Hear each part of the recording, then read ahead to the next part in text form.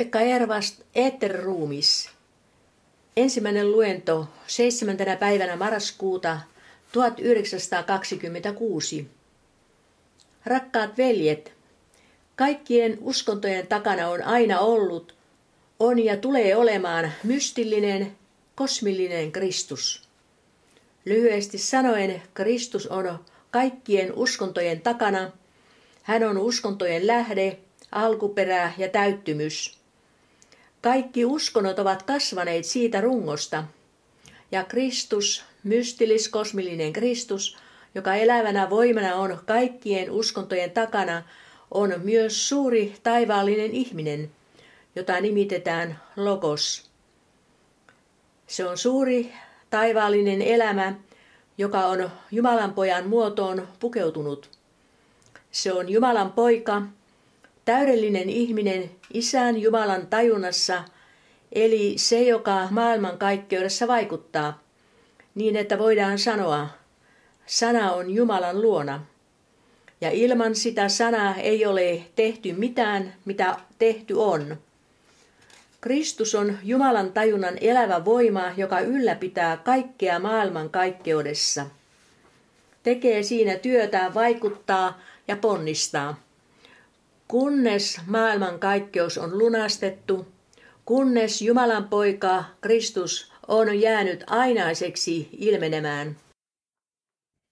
Kaikki uskonnot palvovat ja palvelevat tätä Jumalan poikaa Kristusta.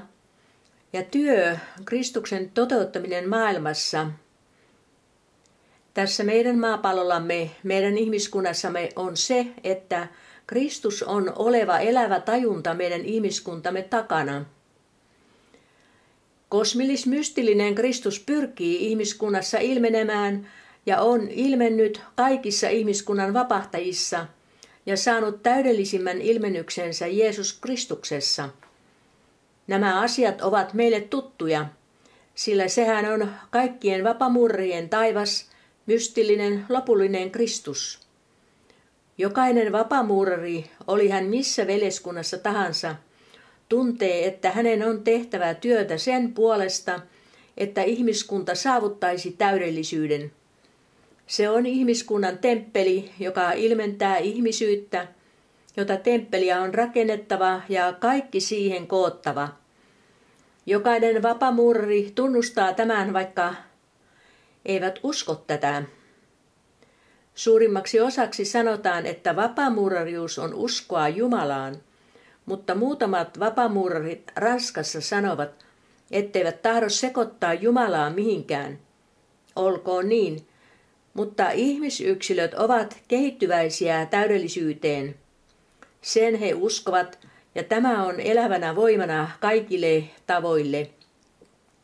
Ja ihmisyksilöiden täydellistyminen on samalla Jumalan pojan Kristuksen ruumistuminen ihmiseen, se on Jumalan inkarnaationi. Nyt te olette kaikki tutustuneet siihen kuvaan ihmisestä, minkä kaikki teosofiset opit ja esitykset antavat. Niissä ihminen jaetaan seitsemään prinsiippiin, niin kuin Marame H.P. Palavatski sanoo. Siinä on ihmisen kokoonpano, että ihmisessä on korkeampi minä Atma, Buddhi, Manas – joka on pukeutunut nelikertaiseen alempaan prinsiippiin. Olemme myös ruvenneet puhumaan täsmällisesti erilaisista käyttövälineistä eli ruumiista, joihin ihmisen henki on tullut asumaan. Erotamme kolme olemuspuolta, henkinen, sielu eli järki, joka on kokoonpantu ihmisminuuden kolmesta olemuspuolesta. Niin puhutaan ihmisen astraaliruumiista ja uloin pidetään mentaali- ja astraaliruumiiden käyttövälineiden välillä. Käytännöllisesti kuuluvat ne yhteen, mutta voidaan yhdistää mentaalis-astraaliseen käyttövälineeseen. Voidaan painostaa, että se ei ole mikään ruumis, vaan ruumis on ihmisen persoonallinen ruumis. Ja se osa tästä fyysillisestä ruumiista, jossa erotetaan kaksi olevuspuolta, karkea fyysillinen ja sisäisempi, hienompi eetterinen – Nämä ovat tuttuja teosofisista luvuistamme ja kirjoista. Ja jotta ymmärtäisimme uskontojen työtä, niin pitäisi tehdä eläväksi millä tavalla tämä Kristusvaikutus tulee ihmiseen. Silloin täytyy luoda sellainen kuva ihmisestä, joka käsittää ihmisen kokonaan, myös hänen henkisen olemuspuolensa, jos tahdomme ymmärtää uskontojen työtä. Jos tahdomme syventyä annettuihin neuvoihin, on välttämätöntä, että meillä on oikea kuva ihmisen kokoonpanosta. Ja sen tähden on meidän tarkoituksemme juuri näissä esitelmissä samalla kun teemme selvää vähän ihmisestä, samalla määrätä missä suhteessa ihminen on uskontoihin, erilaisiin oppeihin ja missä suhteessa uskontojen neuvot ovat otettava varteen ja millä tavalla ne vaikuttavat ihmiseen ja hänen erilaisiin olemuspuoliinsa. Meidän on muistettava, ja sitä on jokainen teistä jossain määrin kokenut, sillä muuten ette olisi täällä, että kun ihmisyksilö joutuu kosketuksiin tosi tavalla jonkun uskonnon kanssa, tai meidän päivinämme uskontojen uskonnon teosofian kanssa, kun joutuu itse Kristuselämän kanssa kosketuksiin, silloin täytyy ensin tehdä sellainen kokemus, jota tavallisesti nimitetään heräymykseksi, usein myös uudesti syntymiseksi, vaikka herääminen on eksaktisempi, todellisuutta vastaavampi, siis tavallaan hänessä jotain uutta syntyy. Hän on herännyt. Hän, joka ennen valaisi pimeydessä siinä merkityksessä, että elämän kaikki maalliset arvot täyttivät hänen elämänsä. Ne riittivät hänen harrastuksilleensa. Sitten tapahtui, että hän, joka tyytyi elämään tämän maailman humussa, jostain syystä heräsi kaipaamaan ja ikävöimään totuutta ja Jumalaa.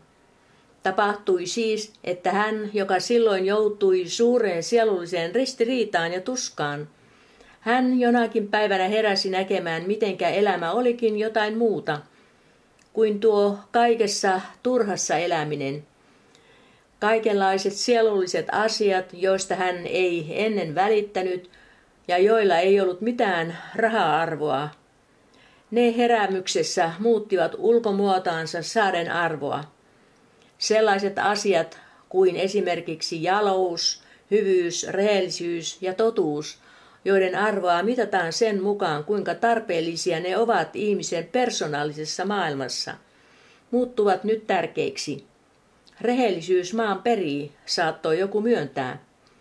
Nyt voi nähdä paremmin. Esimerkiksi hyvyys, jalomielisyys ja antaumus saattavat ennen olla asioita, jotka tuntuvat hentomielisiltä, mutta heräymyksessä tuli niistä aivan kuin toista esiin. Hyvyys ja jalous ovat vakavia asioita, eivätkä suvaitse mitään valhetta. Hyvyys ja auttamishalu ovat tähdätyt siihen, että toinen saisi ikään kuin täräyksen ja tulisi paremmaksi. Hyvyydellä on ihmeellinen arvo elämässä. Elämä saa sellaisen sisällön, että ihminen on olemassa sitä varten, että hän kasvaisi, kehittyisi, viisastuisi ja tulisi paremmaksi. Tämä elämä on sitä varten, että me oppisimme ihmisinä totuuden tietämään ja tuntemaan Jumalan. Elämällä on ihmeellinen sisältö, sellainen on ihmisen sisäinen heräymys. Ja näin jokainen meistä on herännyt tavalla tai toisella. Olemme saaneet välähdyksen suuremmista ja kauniimmista ihanteista. Jokainen on varmaan saanut tällaisen heräämisen, ja ihminen on herännyt silloin, kun hän on ottanut aivan kuin ensimmäisen askeleen uskonnollista elämää kohti. Silloin on avautunut tie, johon voi astua tai olla astumatta, riippuen siitä, onko hän laiska tai ahkera. Huomataan kuitenkin, että ihmisen luonnolliset terveet voimat vaikuttavat sen, että hän tuntee halua kulkea eteenpäin ja kulkee vaistomaisesti sitä hyvää työtä kohti, mitä hän voi tehdä. Ja se on, että hän alkaa tästä minuudesta päin sillä se, joka on herännyt, hän elää kuin persoonallinen olento, mutta hänen minuutensa on herännyt ihmisyksilönä. Ja hänen ensimmäinen voittamisensa on mennä eteenpäin minuuteen päin. Se merkitsee, että hänen minuutensa alkaa ajatella hyvää, kaunista ja totta, puhdistavasti tunteisiin nähden, siis astraaliruumiiseen nähden. Hän alkaa sitä puhdistaa. Nyt tämä puhdistustyö on sekä monivivahteinen että monimutkainen ja hyvin sisältörikas. Tämä riippuu siitä, että monet ovat tässä kulttuurissa tehneet paljon sellaista työtä, joka itsessään puhdistaa meidän astraaliruumistamme. Vaikka heräämyksen perästä se tapahtuu tietoisemmin ja voimakkaammin minuudesta päin. Sillä kulttuuri on sitä, että me emme siedä mitään rumaa, vaan pyrimme totuuteen, kauneuteen ja vilpittömyyteen. Juuri tuo pyrkimys totuuteen ja kauneuteen on omiansa puhdistamaan astraaliruumista. Mutta kun se jää ulkonaisen ruumiin tehtäväksi, silloin kulttuurikansat hitaasti puhdistuvat. He vaan elävät kulttuuriruumiissa mukana siten, että antavat vallan kaikelle sellaiselle, joka on ruumiin elämää. Mutta kun ihminen on saanut uskonnollisen heräämyksen, silloin hän ymmärtää, mihin kaikkeen kulttuurielämä tähtää. Silloin hän ymmärtää ja tuntee velvollisuutensa olevan puhdistaa itseänsä. Sen tähden toinen askel on puhdistustyö. Ensimmäinen askel on mielenmuutos. Ihminen sanoo, kun hän on herännyt, minä en saa jäädä puoliväliin, vaan tahdon mennä eteenpäin. Päätös on toinen askel ja sitä seuraava työ on kolmas askel. Kaikki tämä puhdistustyö, joka on pitkällisen monimutkainen ja sisältörikas, on valmistavaa työtä. Se on kulkemista valmistavalla tiellä. Se on sitä työtä, jota aivan kuin itsestänsä tehdään, kun minus on saanut heräämyksen. Ja se valmistava työ ei ole mitään sellaista työtä, joka antaisi meille mitään valtaa tai tiedon voimaa. Kuitenkin moni ihminen väsähtää tässä valmistavassa työssä.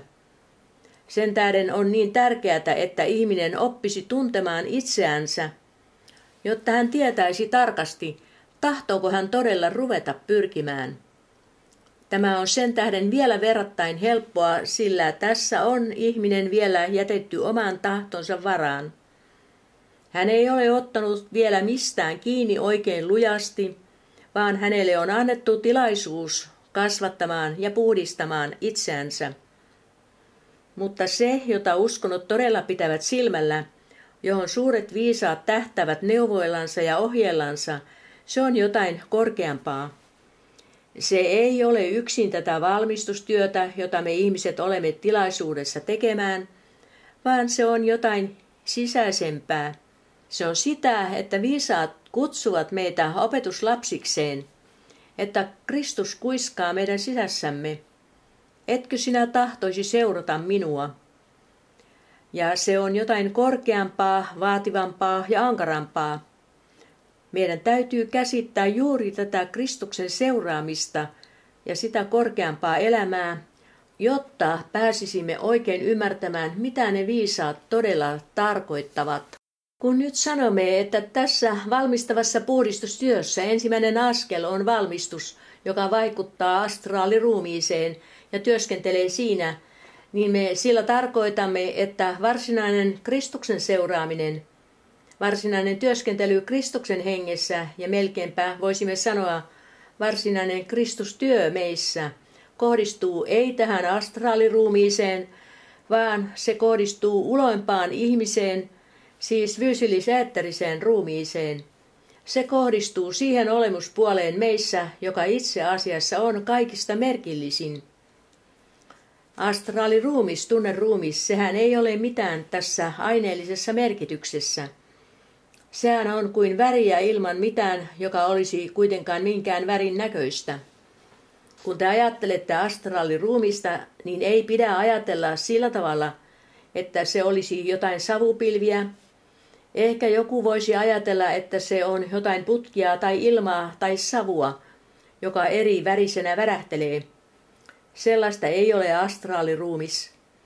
Astraaliruumis objektiivisesti aistettuna on vain muotoilmiöitä ilman aineellista taustaa, muotoa ilman minkään aineen näköistä. Se on niin tärkeää ymmärtää sen tähden, että me helposti nostamme, siirrämme näkymättömään maailmaan omat materiaaliset käsityksemme. Meidän ei tarvitse muuta kuin ajatella itseämme kuoleman jälkeen ja kaikkia vainajia, niin me tiedämme, että vainajien tajunnassa on näkymätön maailma materialisoitunut. Se ei ole Jumalan totuus, vaan se on meidän tällä tavalla viemämme kolmiulottuvaisuus käsityksemme. Todellisuudessa se ei ole niin, vaikka tämä ei käytännön maailmassa tule selväksi ennen kuin ihminen on vihitty, kehittynyt salatieteilijä ja adepti. Mutta hänellä on aavistus ja hän ymmärtää, että on tehtävä ero materialistisen ajatustavan ja spiritualistisen ajatustavan välillä. On hyvä, että viemme näkymättömään maailmaan käsityksen tästä fyysillisestä maailmasta sellaisena, silloin näkymätön maailma kuvastaa sen fyysilliseen.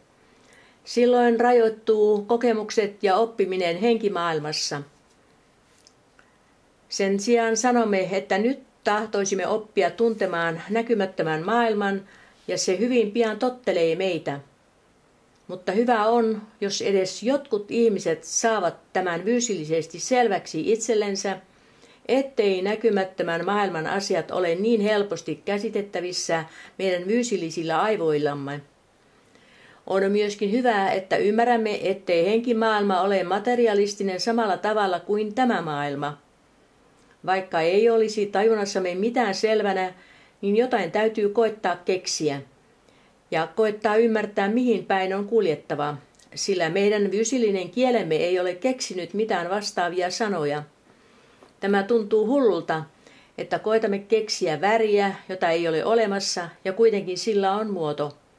Tämä on kuin rakennus, jota ei ole rakennettu, mutta johon pannaan telineet ympärille, ja siitä pitää ymmärtää, minkälainen siitä tulee, mutta se auttaa kuitenkin meidän ajatustamme siinä, että ymmärrämme sen, millä tavalla meidän ei pidä ajatella.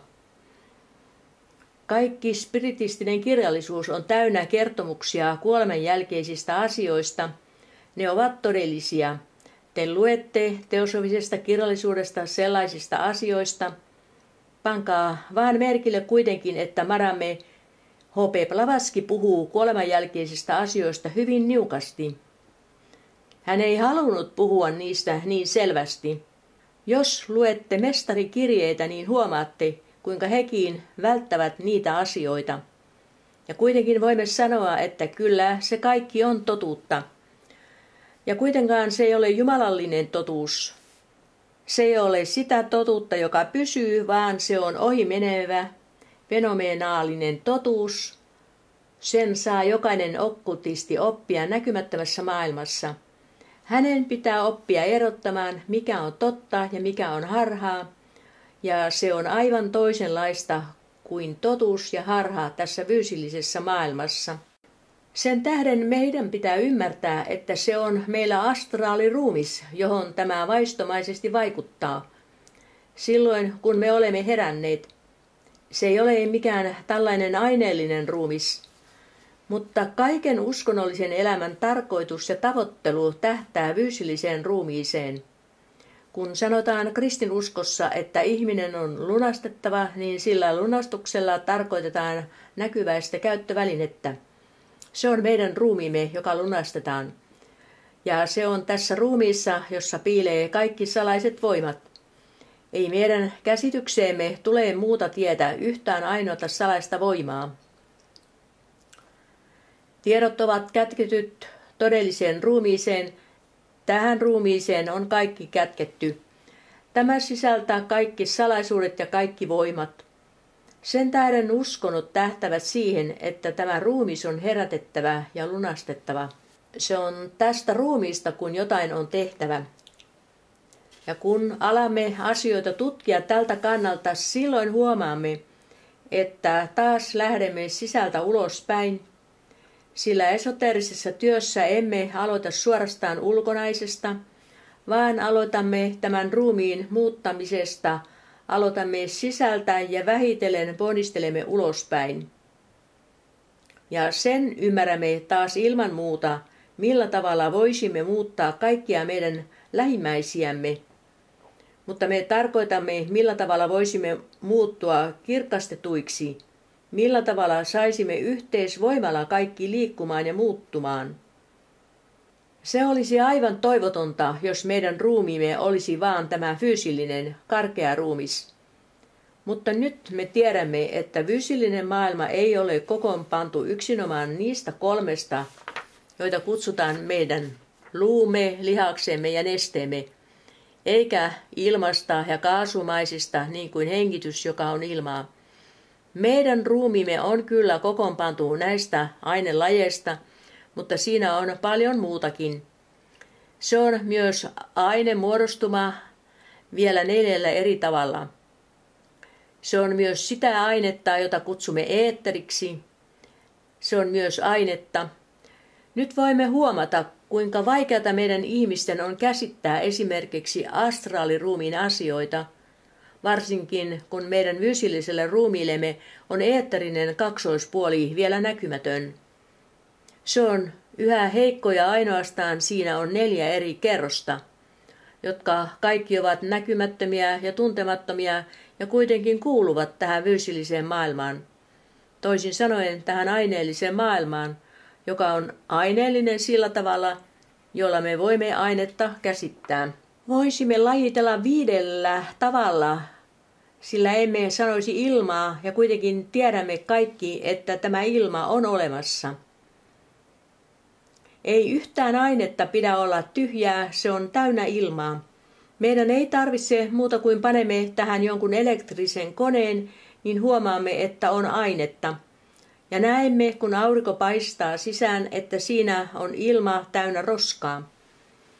Suuresti saamme nöyrtyä kaiken puuhan perästä, kun huomaamme, että on roskaa vaan. Silloin me saamme nähdä sen, mikä muuten pysyy näkymättömänä. Tämä vertauskuva auttaa meitä ymmärtämään, että kaikki eetterimuodostumat ovat aineellisia, vaikkakin näkymättömiä. Nyt on tässä meidän eetteriruumiissamme ja sen neljässä eri muodossa tärkeitä näkökohtia huomattavana. Meidän on siis välttämätöntä tutkia tätä eetteriruumista, jos tahdomme ymmärtää Kristuksen työtä meissä – meidän täytyy tehdä itsellemme selväksi tämän eetteriruumiin rakenne ja sen erilaiset toiminnat. Te tiedätte, kuinka usein sanotaan, ja että meidän on aina sillä tavalla esitettävä asioita, nimittäin, että eetteriruumis on voimaa. Se on näkymätön, ja kun tahdomme kuvailla sen suhdetta tähän näkyväiseen, niin sanomme, että siinä on jotain voimia, niin kuin tässä fyysillisessä ruumiissa Voima on meidän luustossamme.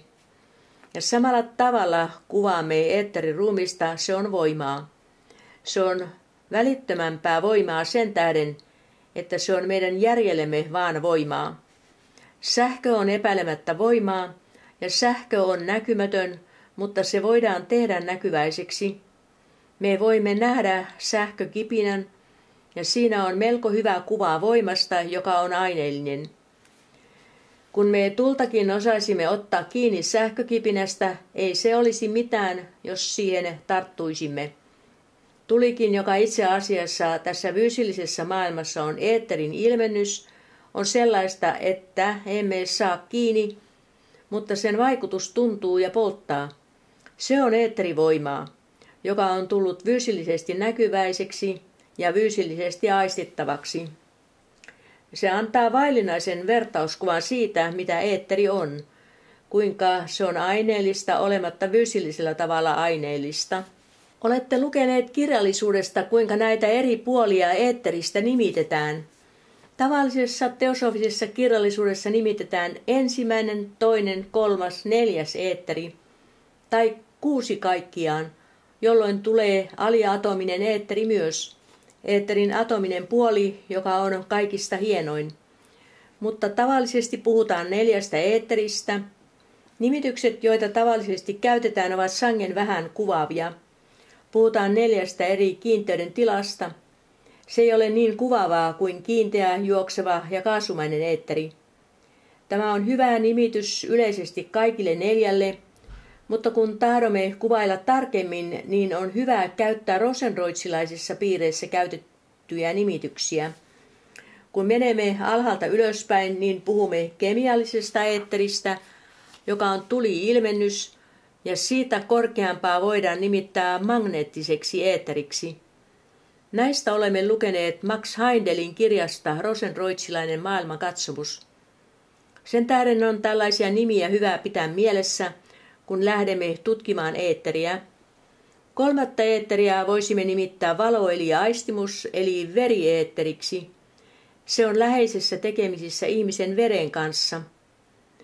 Neljättä eetteriä taas sanomme, että se on muisti eli peilieetteri, refleksieetteri. Näillä nimityksillä on erikoisen tärkeä tehtävä, joten ne ovat pidettävä mielessä, jotta sillä tavalla voisimme ymmärtää eetteriruumista. Nythän tiedämme, että olette lukeneet, vaikka en nyt muista, missä se on luettavana.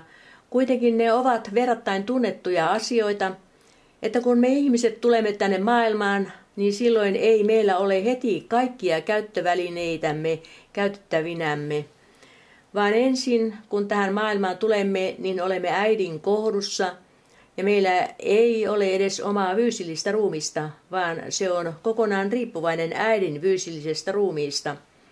Sitten me synnymme maailmaan, sanomme, että syntyminen on sitä, että me saamme omaan fyysillisen ruumiin. Saamme sen siten, että napajänne katkaistaan ja meidän oma fyysillinen ruumiimme alkaa toimintansa. Kaikki odottavat, että lapsi osaa hengittää, antaa ääntä ja huutaa heti, kun se syntyy. En ole sellaista nähnyt, mutta olen näistä kuullut kerrottavan. Odotetaan, että pikkuinen huutaisi ja parkuisi, sillä se on merkki siitä, että hänen keuhkonsa alkavat toimia. Siitä hetkestä alkaen hän elää yksilöllisesti tässä fyysillisessä maailmassa. Mutta se ei merkitse, että hänellä olisi oma yksilöllinen eetteriruumis. Se on vielä yhteydessä äidin eetteriruumiin kanssa. Lapsi ei ole vielä yksilö eetterisesti. Jos lapsi erotetaan äidistänsä, silloin venytetään eetterilankaa hirveästi. Kaikki lääkärit sen kyllä myöntävät, ettei ole hyvä, jos äiti ei itse imetä lastaan. Sen tähden on surkuteltavaa, että kun äiti esimerkiksi kuolee, että lapsen eetteriruumis on vielä kiinni äidin eetteriruumiissa.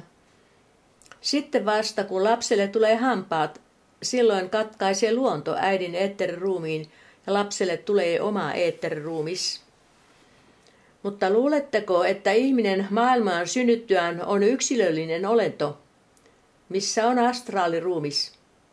Hänen astraaliruumiinsa on vielä kiinni kosmillisessa astraaliruumiissa – se merkitsee, että astraaliruumis on kosmillinen laadultaan. Sen tähden on hyvin tärkeää tehdä luonnollinen, mutta hyvin vastaanottavainen lapsi vaikutuksiltaan erikoisen voimakkaaksi. Me saamme syntymässä nähdä meidän astraaliruumiimme, joka sisältää siemenet kaikkeen pahaan ja kaikkeen hyvään. Se, että lapsi on kiinni kosmillisissa voimissa ja täyttää meidät omalla synnynnäisellä rakkaudellaan, vaikuttaa, että lapsen tunneruumis on luonnollisen puhdas. Koska astraaliruumis syntyy? Se tulee silloin, kun tulemme niin sanottuun puberteettiin, kun sukupuolisesti valmistumme. Se on tavallisesti 12-14 vuosien vaiheissa. Eetteriruumis syntyy 3-7 vuosien vaihdellessa, astraaliruumis 12-14 vuosien vaiheessa, riippuen siitä, koska yksilöllisen ihmisen sukupuolivoimat kehittyvät. En ole ottanut lukuun kolmatta sukupuolta. Silloin kun astraaliruumis on eronnut kosmillisesta, ei se vielä ole valmis, vaan silloin se on vielä hyvin kiinni ajatusruumiissa – hänen minuutensa sisältö on vielä kiinni kosmillisissa voimissa. Sen tähden nuorukainen, joka on tullut ruumiillisesti kypseksi, ei ole sellainen, joka voi itseänsä järjellisesti hallita. Sen tähden on, niin kuin tänään luennossa sanottiin, viisaus siinä, että nuori ihminen voi vähän raivota tai riehua. Se ei ole niin synnillistä ja pahaa hänen puoleltansa. Hänellä ei ole vielä sellaista minuutta, joka olisi vastuunalainen, vaan se on hierarkioista riippuvainen. Hän on sukupuolisten voimien heiteltävänä, eikä hän osaa järjessänsä astua niiden yläpuolelle. Ja sen tähden on kaikessa vanhassa lainsäädännössä niin, että ihminen tulee täysi-ikäiseksi 21-vuotiaana. Ja siinä on tosi seikka, että ihminen tulee täysi-ikäiseksi, kun hänelle tulee omaa minää ja omaa järki. Ja se tapahtuu noin 21-vuotiaana. Samalla tavalla myös tämä minuus ihmisessä herää jokapäiväiseen toimintaan ja järkevään ajatteluun. Mutta se tulee eri aikoina, toisille varhemmin, toisille myöhemmin. Te tiedätte, että minä olen ollut sillä kannalla vapamuurruuden suhteen, että vapamurriksi täytyy voida tulla ihminen, vaikkakaan hän ei ole täyttänyt 21 vuotta. Perinnäissäännöissä on, ettei voi vihkiä vapamurriksi ennen 21 vuotta. Minä olen toisella kannalla, sillä tämä ei ole mikään lakipykälä, joka vastaa tosi seikkoja, ja luonnon kannalta on totta, että ihminen on vastuunalainen silloin, kun hänen minänsä on astunut aivoihin, silloin kun hän on tullut järjellisesti vastuunalaiseksi, silloin hän voi myös pyytää jäsenyyttä vapamurriuteen. Kun ihminen siis on irtautunut hierarkiojen ihmiskunnan joukkominästä ja saanut oman minänsä, jota ainoastaan aivojen kupukatto erottaa muusta maailmasta – ja jos katselemme, mitä tapahtuu ihmisen fyysillis ruumiissa, niin huomaamme, että silloin, kun ihminen on saanut fyysillis ruumiin, kun hän on saanut hampaat ja eetteriruumis erotetaan kosmillisesta eetteriruumista, silloin tämä kemiallinen eetteri pääsee toimimaan. Se on kemiallinen eetteri, joka toimintansa puolesta pääsee vapaaksi lapsiruumiissa. Se on se eetteri, joka on kasvuvoimaa, se on se, joka muodostaa ruoan voimaksi. Eikä meidän vatsamme voi sellaisena mitään tehdä. Siinä täytyy olla elävä voima meidän vatsassamme, joka ottaa ruoan ja ottaa siitä voiman. Kun luemme tavallisten fysiologien kirjoja, niissä kaikki tuntuvat niin luonnollisilta, sillä kaikki voimat ovat vatsalaukussa. Tämä tuntuu äärettömän luonnolliselta – ja kuitenkin pieni ajatus saa meidät ymmärtämään, ettei mikään kuollut aine voi sitä vaikuttaa. Täytyy olla jotain voimaa, määrätyllä viisaudella varustettua voimaa. Ajatelkaa itse näitä asioita. Meidän täytyy päästä käsitykseen siitä, että täytyy olla jokin näkymätön voima ruumis, joka toimii. Tämä on kemiallinen kasvueetteri. Sillä ajalla lapsi kasvaa. Tulen puhumaan tarkemmin fyysillisestä ruumiista. Mutta kun seuraava periodi, sukupuolinen kypsyys, tulee, se merkitsee, että on magneettinen eloeetteri päässyt toimimaan. Se on sukupuolivoima. Se toimii ja pääsee vapaaseen toimintaan silloin, kun astraaliruumis irtaantuu kosmillisista voimista. Kun ihminen minässä irtautuu kosmillisista voimista, Silloin pääsee toimimaan valoeetteri, joka on yhteydessä veden kanssa ja aistimien kehityksen kanssa. Silloin pääsee toimimaan hänen minuutensa ja on tekemisissä veren kanssa. Ennen kuin ihmisminuus pääsee vapaaksi ja pääsee vaikuttamaan vereen, ennen kuin valoeetteri pääsee toimimaan vapaasti, niin ihmislapsi on hyvin altis sairaudelle, joka aina ottaa kuumeen muodon. Se on se, joka helposti panee veren nopeaan liikkeeseen, josta helposti tulee kuumetta. Kosmilliset voimat vaikuttavat sen, että kuume on kuin luonnon suojaksi ajateltu. Se ei saa kuitenkaan nousta aivan liian korkeaksi ruumiissa. Mutta kun ihminen vanhenee ja minuus on herännyt, silloin ei kuume ole enää niin luonnollinen. Silloin hän ei osaa heti aivan kuin asettua luonnolliselle kannalle. Ei osaa asettua sellaiselle kannalle, että tauti on itse vaikuttava. Hän ei osaa sitä tehdä. Hän pelkää kuumetta ja uskoo, että se on huono tila. Hän hoitaa liiaksi itseänsä. Ja sen tähden, että hänellä on tämä minuus hereillä, niin kuume kasvaa. Jos hänelle tulee kuumetta, niin se on vaarallista sen tähden, että ihminen on niin altis vastustamaan. Hänellä on kaikenlaisia epäilyksiä. Ei hän ole niin voimakas, että ottaisi Jumalan oppaaksi ja uskoisi, että joku pitää hänestä huolta. Ja sen tähden on kuume vaikeampi asia. Luulen nyt, että olen antanut pienen alkukuvauksen eetteriruumiista –